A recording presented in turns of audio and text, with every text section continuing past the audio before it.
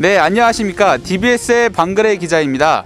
오늘 12월 13일 화요일 괴산 신공장에 송인원 괴산 군수가 왔습니다. 송인원 괴산 군수는 대유의 발전과 그리고 안전을 위해서 공장을 잘 운영해 달라는 부탁과 함께 대유의 발전을 기원했습니다. 그러면 저와 함께 지금 현장으로 출발해 보도록 하겠습니다. 송인원 괴산군수는 12월 13일 화요일 오후 3시경에 대제산업단지 내에 있는 대유 괴산신공장에 도착해 임직원과 격없는 대화를 나눴습니다.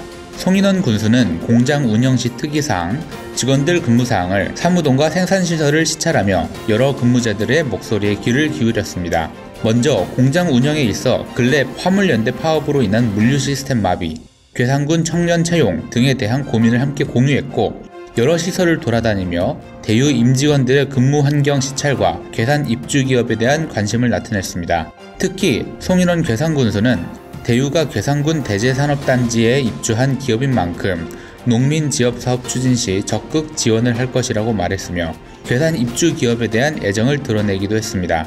한편 대유 괴산 신공장은 12월부터 정상적으로 가동했습니다. 더욱이 자동화 시스템으로 기존의 경산 공장 생산 시설 대비 뛰어난 시설 덕분에 직원들의 근무 환경과 생산력은 올라갔습니다. 지금까지 DBS의 방그레였습니다.